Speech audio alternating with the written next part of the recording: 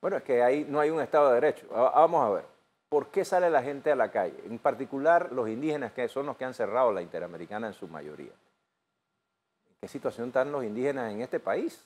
¿Qué respeto hay a su dignidad? Nosotros estamos viendo hoy en día ataques a los indígenas, atacándolos por ser indígenas. No porque, por lo que están pidiendo, sino por ser indígenas. O sea, no hay un respeto a la dignidad humana en varios sectores de este país.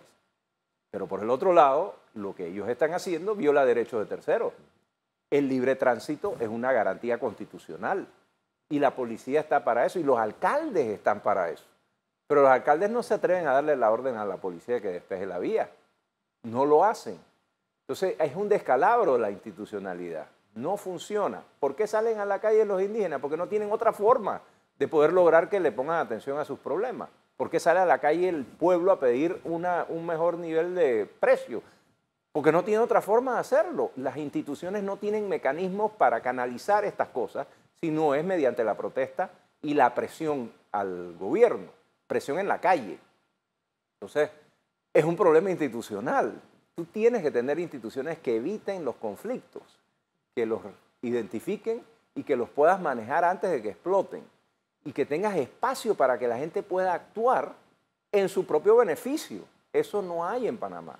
Usted, usted, usted demanda ante la Corte Suprema de Justicia una garantía individual y vaya y busque los fallos. El 95% de los fallos son en beneficio del poder y en detrimento del ciudadano.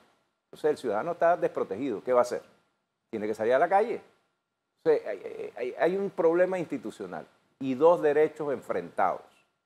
El derecho de uno de ser escuchado y de ser tomado en cuenta y ser respetado como persona humana y de otros el derecho a transitar y de que no pierdan sus productos y que no pierdan su inversión y que puedan pagar sus obligaciones y que la gente no pierda empleo. O sea, los las dos cosas están en, completo conflicto. Y, terminan y en el medio Y en el medio tienes un gobierno que pareciera estar totalmente divorciado de la realidad, que no entiende su función, que cree que su función es la regaladera de plata, el nombramiento de gente y que no, no tiene una política pública clara en estos temas. Ni siquiera tiene un programa económico a dos años de terminar su mandato. No conocemos un programa económico.